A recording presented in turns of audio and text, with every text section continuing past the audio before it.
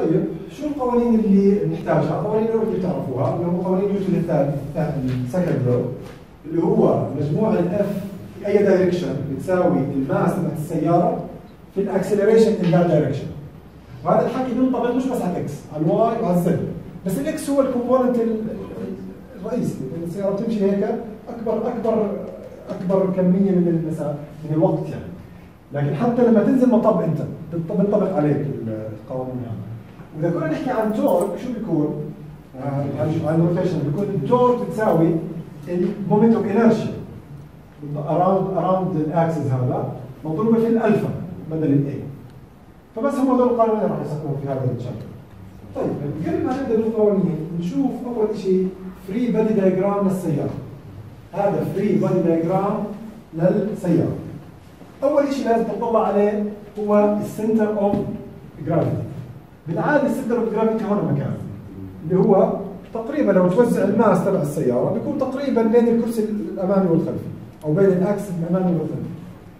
هلأ هذه النقطة طبعا برضه إحنا ماخذين يعني أصعب حاله اللي هي شو؟ سيارة طالعه طلوع يعني مشان نحط كل ال components المحتمله هلأ ال weight تبع السيارة كلياته بنعبر عنه بنقطة واحدة وين بيكون؟ لما لما تكون السيارة طالعة على زاويه ثيتا شو بدنا نعمل؟ بدنا نعمل two components فبصير ال W هي بتروح بصير عندك W cosine theta و W sine theta هاي أول component واضح؟ ثاني component ثاني component اللي هو أنت وانت ماشي بتسارع شو بيكون عندك؟ إنرجي الانرجي هي الماس في الأكسلريشن فالماس اللي هي W على g في ال acceleration بيكون عكس اتجاه الحركة أنت أي جسم بيتحرك باتجاه في inertia ممانعة للحركة بعكس الاتجاه. هي نفس ال friction؟ لا لا لا لا لا لا لا حتى لو friction بس أي mass متحرك okay؟ في هو قانون نيوتن الثاني في بيكون عندك inertia معاكسة لل لاتجاه الحركة. ومقدارها هي ال acceleration في ال mass. هاي ثاني واحدة. طيب شو في عندنا كمان أشياء. هلا أو أو قبل هيك شو الإتش؟ هذا شو الإتش؟ ارتفاع شو؟ center of center of gravity أو center of mass ارتفاعه H طيب. شو كمان غير ال H؟ في عندك B و C B هي المسافة بين ال center of gravity وال front axle وال C بينه وبين ال rear ال rear axle طب شو ال؟ ال wheelbase سميناها. تذكروا في chapter ال wheelbase ال wheelbase هي B زائد C فبالتالي ال center of of of gravity بتكون يا إما بالنص بس مش شرط تكون بالنص. يعني إذا كان إذا كان ال engine مجموعه كبيرة من ال components هون بالتالي بتكون زايحنا للأمام فبالعادة ال B بتكون أصغر من ال C بالعادة. طيب شو كمان في عندنا force نرجع لل forces في عندك هون هذه W cosine theta لازم يقابلها إيش؟ normal ففي في يكون عندك normal على ال front و normal على ال rear بنسميهم W front و W rear هيك اسمهم فالدبليو اف زائد الدبليو ار شو بتساوي؟ ال W cosine theta ما في شيء ثاني على ال أنا يعني نحكي عن هذول كمان شوي. بس بدونهم في شيء ثاني على ال Y axis طيب شوف في عندنا كمان أشياء؟ ال friction في عندنا ال friction ال friction بتطلع كيف اتجاهها ال friction لمصلحتي هلا. ال friction بين العجل وبين إحنا بالعاده كانت مش لمصلحتنا بس هون بسبب دوران العجل لما هذا العجل يدور ال friction شو بيعمل فيه؟ بدزه. بدزه للأمام فال friction هذه صارت لمصلحتي ففي عندي friction rear و friction front طب شو ال R X؟ اسمه rolling resistance أي عجل مطاطي آه، بيكون فيه losses هذه ال losses أو معارضة. يعني انت لما يكون خاصة لما يكون جديد العجل وفرزاته جديدة لما تحاول انك تدزه بي- بيحاول يعارضك ال- الشارع. هذه بنسميها rolling resistance بسبب الدوران نحكي عنها later ففي عندك rolling resistance هذه عكسي ال rolling resistance ما بدي إياها. أنا بدي إياها لما أسوي braking انت دائما يعني أنا بدي إياها بس مش لما أعمل driving لما أعمل braking بدي إياها. that's why إذا بدي أخلص منها بجيب عجال ماسحة. بس لما أعمل braking بدي إياها ما بلاقيها. المشكلة عجال الماسحه كمان رح تأثر على ال friction force برضه بتأثر على ال friction مضبوط بتأثر على الجهتين مضبوط بتعطيني friction قليل و rolling قليل. مش شيء كويس. طيب شو ال D A؟ drag force لل air aerodynamic drag ال aerodynamic drag أنت عارف السيارة لما يخبط فيها الهواء بسرعة عالية. طبعا حسب شكلها. كل ما كان انسيابي أكثر كل ما بتكون ال D A أقل. فال D A طبعا ال D هلا بتتعرض كل مقدمه السياره بس في نقطة معينة ممكن تكون محصلة القوة. فمحصلة القوى area كاملة okay لو حسبناها بيطلع ارتفاعها H A ما دخلوا بال H ما دخلهم ببعض دائما السيارة الأعلى بيكون ال H A أكبر. والسياره الانسيابية والأوطى بيكون ال H A أوطى. طيب شو ضل من الأشياء؟ آه، هلا هذول صراحة مش مهمين هذول إذا ربطت سيارة بسيارتك بسموها ال hitch فانت بيكون عندك two components X و Y فما مش كثير لأنه في نقطة لل hitch اللي هي النقطه اللي بتربط فيها سيارتك. ليش في Y؟ آه، ممكن تكون أوطى منك يعني ممكن تكون هي عم تجرك لتحت. الحبل مايل الحبل ما لتحت. فهذول إذا فهمناهم يعني بيكون يعني بيكون بداية ممتازة لل- لل chapter هذا.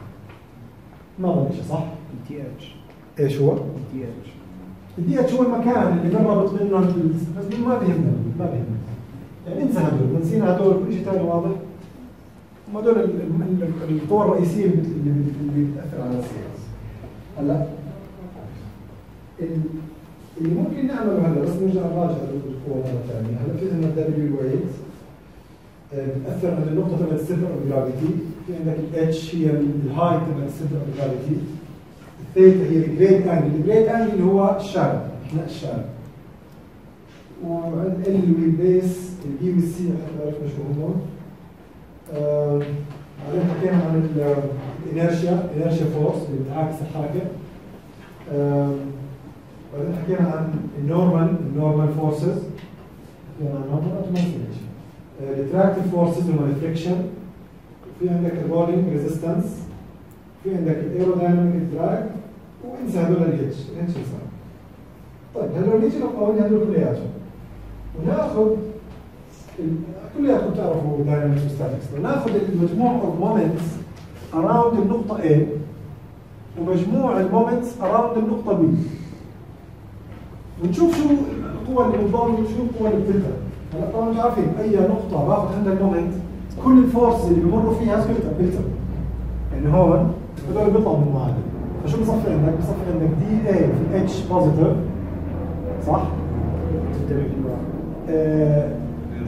دبليو على جي في اي إكس هذه بتمر بال center of gravity فشو بتكون اتش بالضبط؟ والدبليو ساين اتش هذول كلهم positive وال W cosine شو بتكون b صح؟ طيب كلهم اتجاه طب شو الاتجاه الثاني؟ هذا. يعني هذول برضه بيلتغوا فهيك بقدر أطلع دبليو ار ونفس العملية بقدر أطلع دبليو ار لو عملنا هيك بيطلع هذا بيطلع هذول طبعا معادلات ال- ال- ال moment تقدر تراجعهم لحالك. بيطلعوا هذول الدبليو إف بتساوي كذا كذا كذا okay؟ والدبليو آر بتساوي. طيب. هلا هذول القوانين لا لا مش. هذول القوانين هم أساس اللي راح نبدأ فيه بهذا ال chapter أول شيء بدي إياكم تطلعوا منه اليوم اللي هو سيارة صافة واقفة. بسرعة الصفر طلع السياره الواقفة في عليها aerodynamic drag؟ نعم السياره الواقفة هل بتعمل acceleration؟ اشطر آه في شيء ما في hitching بالمرة السيارة شو بضل عندك معناته؟ طلع شو بضل عندك؟ الدبليو اف راح تساوي دبليو سي في آه واقفة على أرض مستوية بطل في كمان زار الثيتا بتصير zero شو أي واحد بيروح منهم؟ sine. شو ضل؟ شايف هذا القانون الكبير اللي كان شو W ضل W c W c في cosine theta sorry. هي واحد دبليو سي دبليو سي على ال وتحت شو بضل؟ دبليو بي عادي هاي مهمة جدا، ليش مهمة جدا؟ بتضل لما السيارة تكون صافة، أنت صاف سيارة من باب البيت. الوزن تبع السيارة ما بتوزع بالتساوي على الأجانب. أنت بتفكر بتوزع بالتساوي، ما بتوزع بالتساوي. ال- ال front ال front راح ياخذ النسبة c على L وال rear راح ياخذ النسبة b على L بالاخير لما تجمعهم b زائد c بتساوي L L على L بيطلع بيطلع بتساوي هلا السؤال رح تسألني أنت طب العجلين الأماميات ما هم اثنين؟ تقسم على اثنين. يعني إحنا عم نحكي عن للتسهيل نحكي عن axle امامي مش عجل أمامي يمين وعجل أمامي شمال. axle امامي بيتحمل مع بعضه هذا هذا هذا القيم. والعجلين الخلفيات مع بعضهم بيتحملوا هذا الاثنين معناته إذا إذا إذا إذا ال center of gravity كان متحيز أكثر للامام شو بتكون ال b أكبر ولا السي؟ سي معناته فعلا لما يكون متحيز للأمام العجال الأمامية راح يتحملوا عبء أكبر ولما يكون متحيز للخلف بالعاده ما ما بتصير. بس لو نفترض إنه كان هذا أكثر للخلف نفترض ال engine كان ورا نفترض إنه السياره هاي ال engine تبعها ورا هذا راح يكون للخلف فشو بيكون بالتالي؟ بيكون ال b كبير. فالعجال الخلفية راح يتحمل عبء أكبر. وإذا صدفت وكان ال center of gravity بالنص ساعتها الأربع عجال بتحملوا نفس ال نفس الحمل وهيك أفضل شيء بالعاده بيحاولوا يعملوا بالنص بس ما بزبط معهم 100% يكون بالنص فهذه أول شيء ليش حطينا حرف s static Wf static هي لما السيارة صافه سرعتها zero وعلى على منحنى ثابت دكتور يمكن سيارات الكهرباء بيقدروا يلعبوا أحسن في هاي الشغله عشان بيقدروا يوزعوا البطاريات زي ما بده آه، يعني طبعا طبعا. بالعاده شو بيعملوا هم التسلا؟ حطوا تحت طبعا الكراسي. طبعا أنا بقول طريقه وزنها 300 كيلو. أنت وزنك 100 كيلو بتفوت على السيارة بتخرب كل ال ratio. بالضبط. يعني هذه بتاثر هلا بنشوف كمان لما يكون عندك ركاب آه. بيأثروا بالتوزيع بالتوزيع على العجال فواضحه هاي طبعا هون يعني إحنا باعتبار هذا أبسط شيء إنه هي سياره واقفه بسرعة zero على منحنى ثابت. طيب ناخذ الحالة اللي بعديها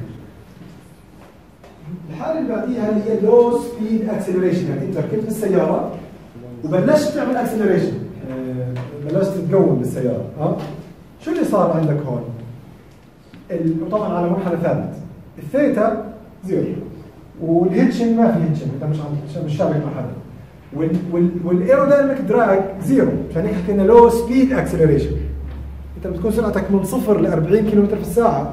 ال aerodynamic drag مش zero لكن تهمله شو بضل عندك components ممكن ترجع للقانون بس رسمي راح يضل عندك انه ال WF راح تساوي. WFS على هذا اللي من شوي كان معنا. دخل معنا component ثاني اللي هو إيش؟ acceleration بس هو component واحد زيادة. دخل لو تطلع على الإشارات شو راح يطلع معك؟ راح يطلع معك نفس ال component راح يكون سالب بال front ونفسه positive على ال rear صراحة هذا شيء جدا جدا مهم لأي واحد بده يدرس ال dynamics تبعت السيارة. السيارة لما تتسارع الوزن كأنه بصير transfer للوزن من العجال الأمامية للعجال الخلفية. كل ما تتسارع كل ما بخف الوزن على العجال الأمامية. كل ما بيزيد الوزن على العجال الخلفية. وبالضبط القيمة نفسها. يعني هذه القيمة W على G في AX في H على L اللي بتنطرح من WFS وين بتنزاد؟ فلو تجمعهم بالاخر شو بطلع عندك؟ ال W يعني السيارة ما زاد وزنها. ال W هو نفسه لكن صار transfer لل load صارت صار كل ما يزيد التسارع كل ما بيزيد ال load على العجال الخلفية okay؟ وبيقل على العجال الأمامية. هذا الإشي ممكن يتلاحظ لأنه كل ما زاد التسارع بيرجع لورا ب- إذا واحد آه، قوم دراجة سريع كثير بصير mass transfer لورا فالدراجة كلها كلها- كلها بتقوم. بصير كأنه ال friction بس على العجل الوراني والامامي ما بيقدر. بيقدر يرفع العجل الامامي بسهوله بترفع هي وحتى أو واحد بده على بسكليت دعس مرة واحدة بيلاقي البسكليت بده يقلب معه 100% لا تجربوها يعني شيء بس بتلاقي الدراجة لما تعمل acceleration رهيب بترجع بسهوله. بيرفع هذا وبصير بيطلع هلا هذه جدا مهمه ليش؟ مهمة لعده اسباب هلا أنت حتى تخف نفترض انه السيارة تبعتك ال acceleration تبعها رهيب يعني سيارة high performance بس أنت بنفس الوقت بدك steering أنت لما يخف ال load هون شو بصير بال steering؟ بخف ال steering ما بتقدر طيب شو بيكون الحل؟ لا لا لا لا لا ال acceleration شو ما كان الدفع ال acceleration هو نفسه. لا ما بقدر ألعب في center of gravity steering يصير ورا؟ steering آه؟ power تبع ال steering يعني آه، ال power اللي تبع ال steering ل- لليمين والشمال. بس ال grip ال grip هي ال load يعني الضغط تبع العجل على الشارع ال power steering ما له دخل فيه. بال design تبع السيارة هاي اللي بستغل الهواء إنه يمسك على السياره بس. نحكي عن low speed low speed الهواء ما بيلعب. ال high speed صح كلامك. طلعوا قانون يا شباب. كيف بدي أخفف ال load transfer ال W بقدر العب فيها ال G بقدر العب فيها ال AX ما إحنا قلنا high performance اللي اشتراها بده acceleration عالي ال L بقدر ألعب فيها؟ لا صنعت السيارة already ال المفروض إنه لا. فهلا شو اللي شو الشيء الوحيد اللي بضل لما تيجي تصمم السيارة شو تعمل؟ فشو بتلاقي السيارة ال high performance؟ واطي. لما لما تلاقيها لابسة الشارع. هذا السبب. مش لأنه شكلها حلو والناس بيحبوا شكلها واطي. يمكن هذا الحكي صح بس الحكي ال- الهندسي إنه أنا مشان احافظ على ال grip. لما تركب السيارة وتفحط فيها وتضلك عامل steering بدها السياره تكون واطيه بينما لما تكون السيارة عالية و truck أو أو أو باص شو بتكون ال H عالي؟ بس شو بتكون ال AX ضعيف. ضعيفه مش رح يطير. مش راح يطير اللي عم بيسوق باص. بس شو بتكون ال H تبعته؟ عالية. فهم يعني ما بينفع سيارة high performance تكون عالية ما بينفع. otherwise you lose the grip بصير فيك زي تبع الدراجة بس على السياره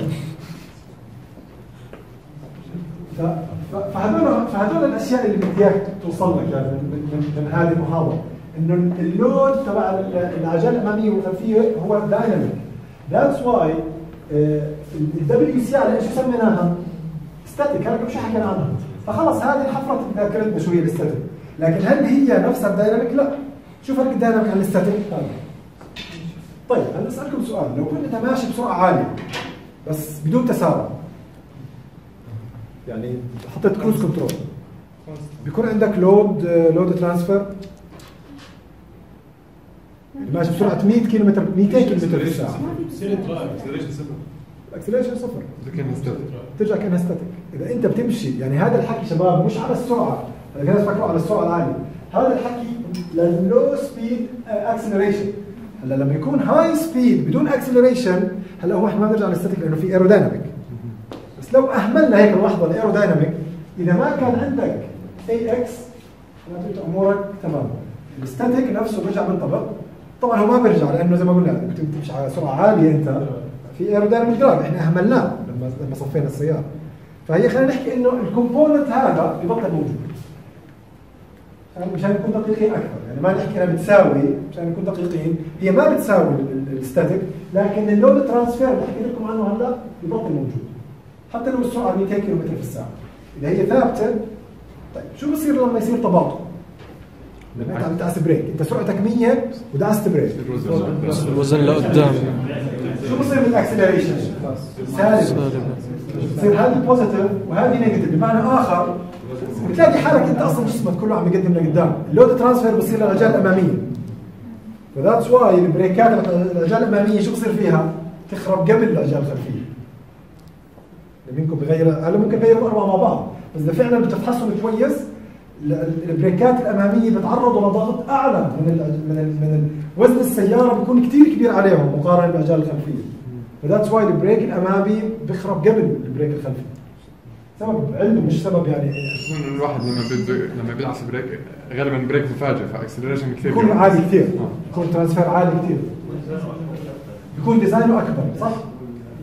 بالضبط ممكن يكون نوع مختلف كمان دائما البريك الأمامي هو الأهم هو الأهم طبعا هذا ما بيعني إنه الاثنين مهمين لكن عليه ضغط